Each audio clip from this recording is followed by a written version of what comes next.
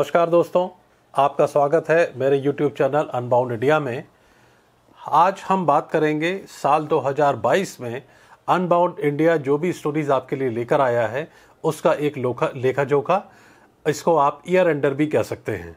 साल 2022 बहुत कुछ देकर गया है तो बहुत कुछ लेकर भी गया है। पिताजी का देहावसान हुआ है, सब उनके चरणों में समर्पित है। अनबाउंड इंडिया की बात करें तो जहाँ हमने द्वारका की खोज में अरब सागर में गोते लगाए हैं, द्वारका के समुद्र तट पर जहाँ गोमती नदी का सफ़र खत्म होता है, उसी सागर की लहरों में बनते बिगड़ते इतिहास के किस्सों को ढूँढने का भी प्रयास किया है।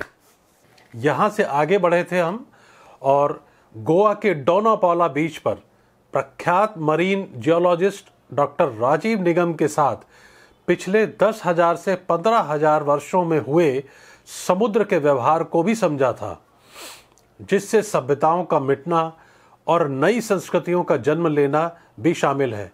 कैसे ये व्यवहार ने, समुद्र के इस व्यवहार ने इन सारी परिस्थितियों पर असर डाला, ये एक स्टोरी थी, आप लोगों ने उसको देखा है।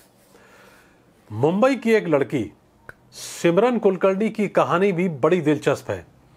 अपने सपनों को कैसे हकीकत में बदला जाता है, देखने योग्य है। इस स्टोरी को भी आपने देखा है। आज सिमरन अंडमान निकोबार के गहरे सागर में गोते लगाकर एक कुशल स्कूबा डाइवर बन गई है। स्टोरी देखने लायक है। जितनी भी स्टोरीज का मैं ज़िक्र कर रहा हूँ, उन सारी स्टोरीज का लिंक जो है आपको डिस्क्रिप्शन में मिलेगा। आप एक एक करके वो स्टोरीज देख सकते हैं। अनबाउंड इंडिया यही नहीं रुका है। भारत में आने वाली दूर देशों से माइग्रेटरी बर्ड्स वो चाहे सूरजपुर वेटलैंड हो, दिल्ली के पास, नोएडा में, या भरतपुर बर्ड सेंचुरी जो कि राजस्थान में है, दिल्ली से ज़्यादा दूर नहीं है। आप लोगों को मेरे चैनल ने विभिन्न प्रकार के पक्षियों को, उनके व्यवहार को दिखाया है। अनबाउंड इंडिया आपको लेकर गया है मध्य प्रदेश का एक महत्वपूर्ण क्षेत्र, बुंदेलखंड। जहाँ आपने देखा है प्रोफेसर सुधीर छारी के साथ आदि मानवों की गुफाओं को। नई नई स्टोरीज का सिलसिला यहीं खत्म नहीं हुआ है। 1990 में कश्मीरी पंडितों के साथ हुए नरसंहार की कहानी, मेरे मित्र विजय मट्टू की जुबानी, जिसमें उन्होंने बताया है कि क्या हुआ था कश्मीरी हिंदुओं के साथ 1990 में। बहुत बेहतरीन इंटरव्यू है। आप लोगों को ये ज़रूर देखना चाहिए। चूँकि अनबाउंड इंडिया का सफ़र लगातार जारी है, मेरा मानना है कि यात्राएँ नए अनुभव देती हैं। तेजस एक्सप्रेस में सफ़र का आनंद लिया और यात्रा की थी नई दिल्ली से पटना की। बड़ी अच्छी स्टोरी है, वो आप ज़रूर देखिएगा। बदले हुए काशी का कॉरिडोर भी हमने आपको दिखाया है, जहाँ होती है भव्य गंगा आरती। अनबाउंड इंडिया उस अलौकिक गंगा स्तुति का साक्षी बना था। अलौकिकता की चर्चा हो और उज्जैन का ज़िक्र ना हो, ये हो ही नहीं सकता है। मूर्धन्य विद्वान भगवती लाल राजपुरोहित से हमने जाना महाकाल का आदि इतिहास। सम्राट विक्रमादित्य की अक्षय कीर्ति गाथा तथा महाकवि कालिदास के जीवन से जुड़ी रहस्यमयी बातें।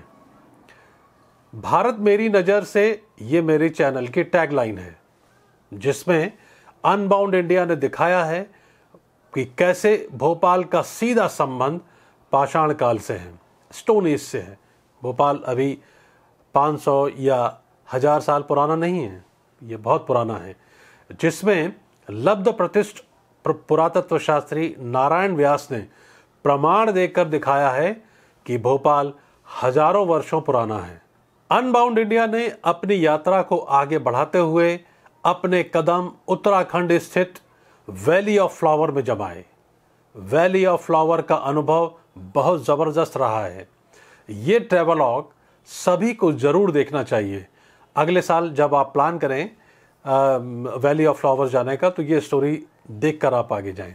हेलीकॉप्टर की यात्रा गोविंद घाट से घांगरिया की हो या घांगरिया बेस कैंप से गोविंद घाट की अविस्मरणीय यात्रा। इसको भी अनबाउंड इंडिया ने आपको दिखाया है। ये हेली राइड जो है, बड़ी ही ज़बरदस्त थी, जिसको कि हमने दिखाया है। आप इस स्टोरी को एक बार ज़रूर देखिएगा। जो लिंक है, वो आपको डिस्क्रिप्शन में मिलेगा।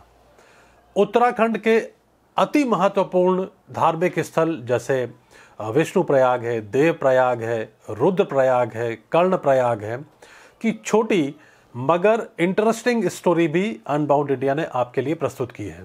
कश्मीर के बदले हालात में देश भर से एकत्रित हुए संत समागम, जिसका नेतृत्व किया था पीओके में जो शारदा पीठ है, उसके शंकराचार्य स्वामी अमृतानंद देव तीर्थ जी महाराज, जिनके सानिध्य में ये कार्यक्रम हुआ था, वो आपने देखी है।